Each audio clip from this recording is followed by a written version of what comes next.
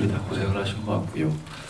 어, 개인적으로는 아까 그 비밀 은신처 말씀하시니까 여기서 이제 총을 맞고 그 예진 씨랑 감자도 먹고 이러다가 거기서부터 좀 굉장히 템포감이 빠르고요. 임팩트 있는 장면. 저희 영화의 백미라고 할 수 있는 여름 시장에 아주 시원한 장면이라고 생각이 드는데 에, 그 제가 괴물 때 허총질만 하다가 그 이번에 제대로 총을 배워서 써본 경험이 굉장히 좋았고 어, 또 이제 어, 노역 뭐잘 아시죠? 어, 또그 김 기자 어, 시간이 흘러서 역할을 했을 때는 다리를 저는 연기를 계속 했어야 돼요. 그래서 지금도 약간 관절염이 계속 남아 있는 것 같고 쉽지 않습니다. 생각보다. 그, 아, 그리고 안경 쓰신 분들은 잘 아시겠지만 굉장히 그 센 도수를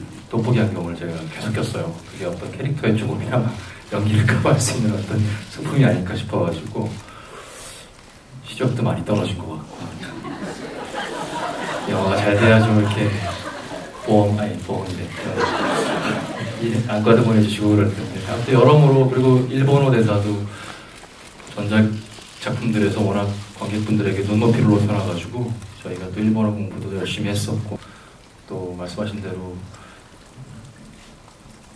독립군 캐릭터로서는 좀 사심 이런 그 개인적인 감정들을 많이 좀 자제하면서 절제하면서 했던 부분들은 재밌으면서도 쉽지는 않았던 것 같습니다. 예.